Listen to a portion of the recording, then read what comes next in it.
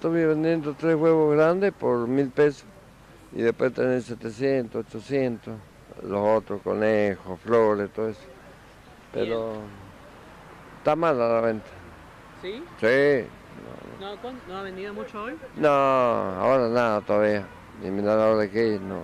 La gente no tiene plata. ¿Desde qué hora, desde qué hora está acá? De las 8 de la mañana. Bien, sí, la verdad es que hace bastante y, y para que me haya dicho que no haya vendido nada. No, no se vende nada. ¿Y ha, o estado vendiendo en estos días o No, solamente no, estado? hoy, hoy empezamos recién. Y vamos a ver hasta el domingo qué pasa. Bueno, muchísima suerte. Entonces, Bueno. más o menos coménteme igual eh, qué es lo que tienen los huevos, más o menos. Eh, Y- coménteme un poquito más de los huevos también para hacerle un poco de promoción. Bueno, y los huevos grandes, esos que venden 800, los conejos, las flores, todo eso tienen un bombón y tienen confite. Y el del 3 por mil tiene únicamente confite. Bien, perfecto.